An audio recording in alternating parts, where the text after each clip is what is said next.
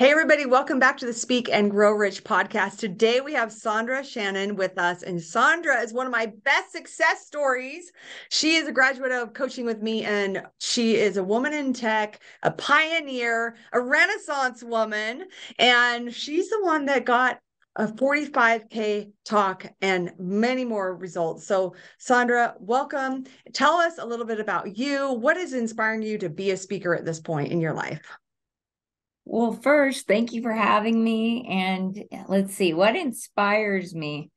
Well, you know, I have to thank you because I use that Renaissance woman all the time, and I got that from you. And I really appreciate you seeing that in me. Mm-hmm. But what inspired me to speak and what inspired me to reach out to you was the the calling to get on stages because I knew that it was going to be a win for my business. I know that speaking is one of the best ways for people to get to know you. And mm-hmm. with my uh, with my organization gate master technology being in such a niche industry i knew that getting on stages was something that i needed to do and the other thing was is that i had been with the company for 20 years made my way up to ceo and i just felt like that there was a story that needed to be told for people to be able to connect with us and to partner with us so yeah. hopefully that answers question, but that was really Certainly. the what got me to reach out to you and, and and know that you were the person I needed. And I remember specifically you talking about this fear you had because you were in these rooms and you knew you had so much to share on your heart and to give and to articulate, but you felt afraid. Did you remember yeah. feeling that way? Yeah, I still feel that way. yeah. By being completely honest and real, and I'm a real person just like everybody right. else. I think that, you know, definitely the fear of being on stage, which is a very real thing, I think, for most people, especially now that I'm having this conversation more open openly. And I think that you really open the doors for me to feel comfortable speaking that out loud, right? Mm-hmm. But once I got on stage and for the first time and then even the last few times that i i the last one i was 1700 people in attendance right it was wild. Woo! I mean, definitely scary, right? Yeah, but, for real.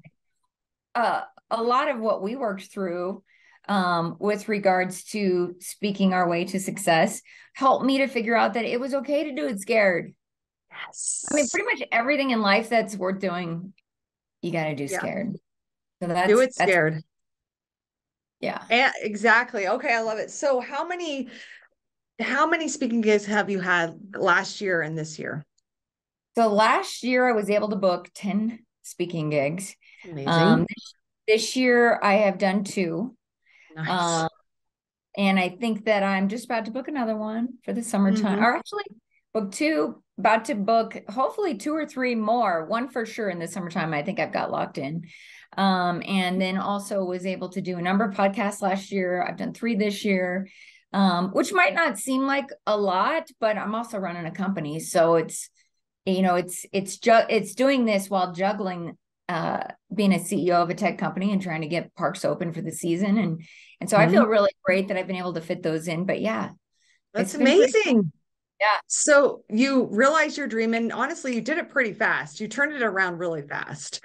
And I remember you even had your own little mini event as well when we were yeah. working together. So you have done so much. So um let me ask you about oh, what was the thing? So like for you, how is it that I don't even remember what I'm going to ask you. So I'm going to have to one second. So I remember during the pandemic, it really affected your business because you do events. So tell us a little bit about how you went down and how you got back up. Sure. I'm sure you're you not know, the only one that had a rough time. No, I'm not the only one. And I know that this is, you know, a, a, a rough conversation for some people to have even still today, and sometimes even a little tough for me. But during the pandemic, I, you know, Gatemaster, our clientele is mostly attraction based businesses. And the unfortunate thing about the pandemic was that attractions were not seen to be essential whatsoever. So in the in event event that they were closed for the summer of 2020 many of them didn't get to reopen until 2022 leaving this like huge gap right. for our for our industry and i mean we're still trying to recover from that but you know, one of the things that really inspired me to work with you at that time, because I think it was like towards the end of the pandemic that we decided to work together, right? Yeah, yeah. And I think that the the thing that really got me the courage to do all of this was that you know I'd grown my company to a certain size, we were comfortable, and the pandemic showed me that comfort was a real dream killer. Mm-hmm. You know, I mm. couldn't get comfortable. I had to expand and grow beyond where we had, if I was coming back, we yep. had to come bigger than ever. And I think that yes. that's, you know, for lack, I, I know for the sake of time, you know, it's very difficult. It's a, it's a lot that happened during that time, but mm-hmm. ultimately what we realized is that, you know, we needed to take this company uh, to a much bigger uh, level than we had ever been before. In fact, I'm sitting on a, this was the business plan to uh-huh. almost 300 pages that we built out last year. And wow. a lot of it, um, a lot of what's in that business plan, I actually spent 150, um, $300,000 somewhere. I don't even know anymore to build that with uh, another mentor that really could see the potential in the business and how we could get to our goal of $100 million, which I think it's something that you and I had talked about mm-hmm. during the time we were first talking. It just didn't really, I didn't, I didn't have an, an idea of how I was going to do that. But even within this business plan, you know, all of the work that I did in terms of personal development, being able to get on stages, you know, one of the things that's built into the business plan was to use Sondra as the face of the company and to let her get on stages mm-hmm. and to mm-hmm. allow us to get known and seen. Because prior to the pandemic, I was just working in the background, doing executive work, building out products, you know, and I was working on relationships, but I didn't like being out there. And I shouldn't say I didn't like it. I was afraid of it. I'm not mm. afraid of it anymore. And I think that I think that the pandemic hopefully showed a lot of us that we can't we can't be working from a place of fear. We have to be coming from a place of abundance. Yes. You know, I'm now choosing, you know, we hear everybody talk about the recession right now. I'm choosing not to participate. Oh yeah, I'm not either. We're going all in. Yeah. Well, we it's a creator's economy. It's a higher level economy. I, I think of it like a upper room. And when we have as a creator, as speakers, authors, coaches, consultants, what we're doing, we're creating an economy. We're not yeah. participating in eh, yeah, it's all just a paradigm anyway. So that's great. So yeah. you're getting your dreams. How what did that feel like? I know so many of our listeners would love to have a $45,000 engagement. What did that feel like for you to walk on that stage? 1700 people, 45,000. You know, um, well, and, and, and 45,000 was paid to the company, mm-hmm. but it's still a massive win, right? Yeah. And I think that I mean, honestly, it just felt awesome. Like even like the founder of Gatemaster, who's uh, retired now and still a mentor of mine because we've worked together for 20 years. I mean, I would say like it was an incredible feeling to let him know that like, hey, this work that I'm doing paid off this much for the company. But not only that, and I haven't talked really openly about this since being on stage, but he was there in the audience. Nice. And part of the conversation that I was having with, because I was at a, a, an event called Women Impact Tech, and it's a lot of entry level to mid level employees inside of tech companies, all of which are women. But it was a really great feeling to be on stage and not only advocate for like mentorship, which is what you're giving people and women like me, by teaching us how to get on stages, how to monetize stages, what that looks like. Um, but also like just to see, just to have that come full circle in that way where he's sitting there in the audience and mm-hmm. just to, to make him proud in a different way, to be a different kind of success for, story for him. And I think that that's the same thing that I feel an affinity for for you is that you know I want to be one of your best success stories. Mm-hmm. Nice. You That's know? so yeah. I mean, but that also speaks to the type of coaching that you do, right? Yeah. When you have a good you want to make them proud. Right. It's true. And I love that. So it's like this full circle, and you're the legacy. You're like standing on his shoulders, and then you're reaching a whole nother demographic, investing into new paradigms of women. And what I loved about our coaching is I I remember like just helping you. I felt like I was helping you really see these incredible dynamics that you bring to the table as a mom, as a CEO, as a dancer, as an artist, as a creator. I mean, you had you were like, oh, by the way, I have this business. Like you had all these like random. But what was the business? Did you have a CBD business too? Oh yeah, I yeah. mean, that well, actually, that's one of my coaching clients. Uh huh. And I've just helped to, and he's got a great product, but you know, um, you know, but that just also speaks to all the stuff that we're doing. You know, he just brought me in to help him uh, get his product into larger organizations so that we could we, we could help him. But you know, that's just part of like I would say the success of what we were working on because that came after that came after we started working together and I I started promoting more. I started putting myself out there. You know, all the things that felt uncomfortable don't feel as uncomfortable to me anymore, but I also think like, you know, you you just got to do it. You just got to keep mm-hmm. going. Find what works and repeat what works. Mm-hmm. Yes. And what I really hear you saying, the heart of this is the ripple effect. As you've gotten out of your own way and out of your comfort zone, you've stretched, but now you've brought all these other people. Your circle has widened to influence and inspire and uplift more people. Yeah. Yeah. It's pretty cool.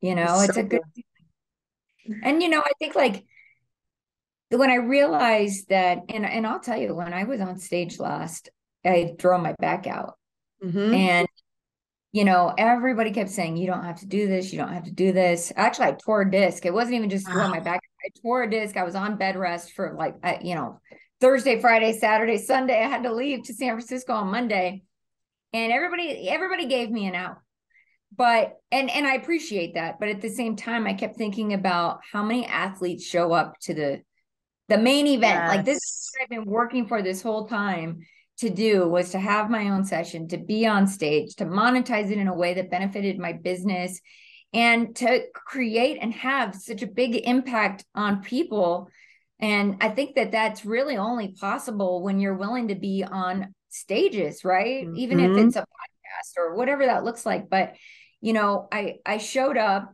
and and if i just mention this it was it was really interesting because i think just being a real person up there, you know, they had to bring me a chair to sit in. Oh my gosh. And I didn't get to wear the dress that I had and the yeah. heels that I, you know, I had this whole thing planned out. Instead, I ended up in pants and tennis shoes. They had sparkles right. though. Oh, good. But, you know, and I got on stage and I just happened to just say, like, look, I'm here. And I made it part of the presentation that mm-hmm. I made it to mm-hmm. the finish line. And I think that that is, the biggest thing that I hope people take from this call is that you just got to keep going and not give up. I mean, sometimes it doesn't feel like you can you're having a big impact, but then when you get there, you realize that it's it's it's close and mm-hmm. you're really contributing to um like a bigger picture for other people. And True. I think that was a really cool thing. Like you you that you could be on stage. I mean, I had so many people lined up. I had people to wow. talk to for two days? I couldn't even like the social events because I was like so tapped out by the end of both days because yeah. I had I had a line of people waiting to talk to me all day, both days. Amazing. So while you know I'm still judging myself a little bit because I I realize that there are some things I still need to work on the ums and the, you Always. know I mean I'm a bit of a valley girl too so I'm sure that comes out but the um but you know I, the feedback is overwhelming that I should just mm-hmm. stay the course. So, well, I have, like everybody else, I, I, I just keep going. Right. And the, and for you, you're not a professional speaker. You are the CEO of the tech company and the face of it. And then you're doing this on the side. So I love that you're constantly invested in your improvement and still you did it anyway. You didn't do it because a lot of people would let perfection stop them and not take action.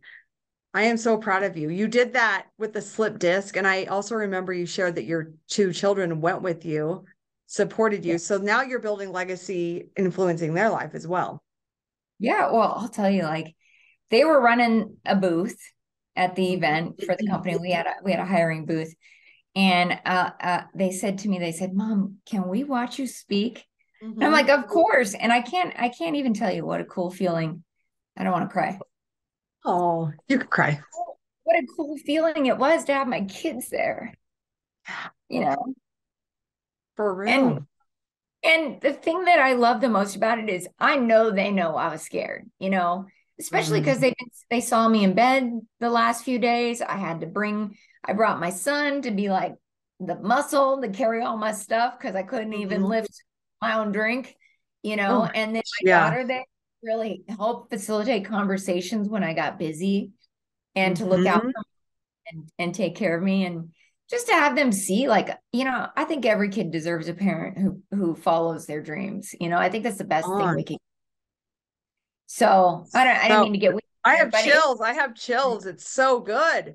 Well, because they're watching us, they're watching you, and they're making decisions on their potential and also their ceiling based on our performance. Yeah. Yeah. Like that belief lid should be lifted for them, but also our hope that it, you know, I know that the work that you're doing is facilitating raising the belief lid for a lot of people. And you did that for me. Thank for you. Sure. Well, I, you're the best. Congratulations. What is next for you? And then we'll wrap it up. Ooh, next for me. I mean, right now, I just have a lot of really great things happening at Gatemaster, especially with this business plan and moving in the direction. We've already crushed all of our targets Wow. The, our targets for the first quarter, and we're getting ready to just do it again for the second quarter, and and just really trying to find the people that we can help. And I think ultimately, like, who can we have the greatest impact on? And um, you know, I'm just excited about whatever that journey looks like. I mean, I don't even know what that looks like. All I know is that I got 10 year, $100 million goal and hoping to collapse that time by improving yeah. myself and, you know, just moving in that direction. Hundred million dollar goal. Let's go. We'll have yeah. another interview ASAP. that, that is collapsing. Well, thank you so much. I know we can follow you on social media, Sondra Strange on Facebook and Instagram. Is that right? Or Big Goal Energy? Big Goal Energy on Instagram. And then, you know what? The best place, probably where I'm most active, if you want to con- really connect with me, would be LinkedIn. And I'm just Sondra Shannon uh, on LinkedIn, Gatemaster Technology. If you want to check out the company, I'd love to have you follow me and see what else we're up to because I know there's lots of good things coming um, down the pipe. And yeah, just cool stuff. Cool stuff. All right. Well, congrats, everyone. Give her a round of applause. If you want to get some results like Sondra, join the Speak and Grow Rich Challenge. Go to speakandgrowrichchallenge.com and take five days together with me where we're going to map out your stories, your signature talk, and getting booked to speak, just like you. Let's go.